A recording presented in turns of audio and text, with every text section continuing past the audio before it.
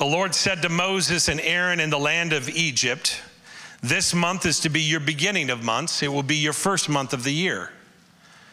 Tell the whole community of Israel in the 10th day of this month, they each must take a what?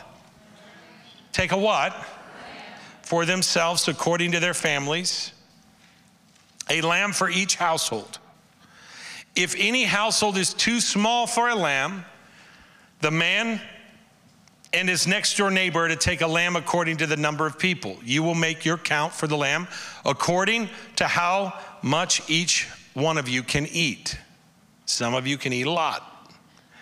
Your lamb must be what? Your lamb must be.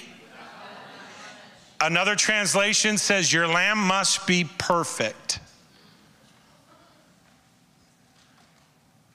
Your lamb must be without blemish.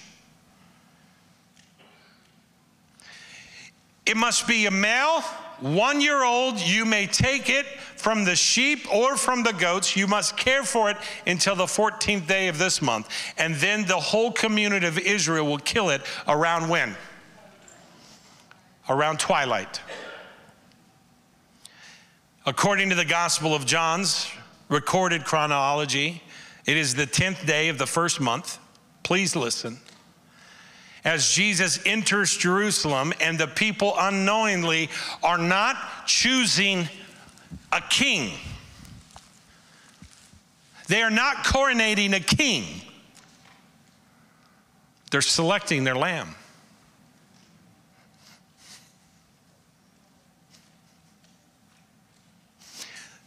They're, selecting a perfect lamb.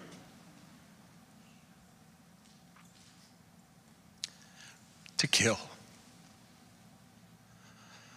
One without fault, one without blemish, and one without sin. You, we will murder. But there was no murdering because this was the plan from the beginning.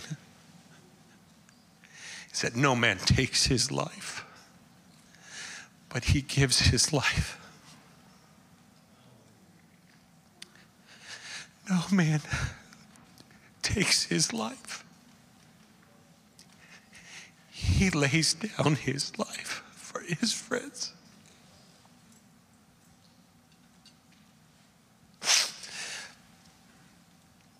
Unknowingly, the people make their choice for the Passover lamb. Matthew 21 says, Now when they drew near,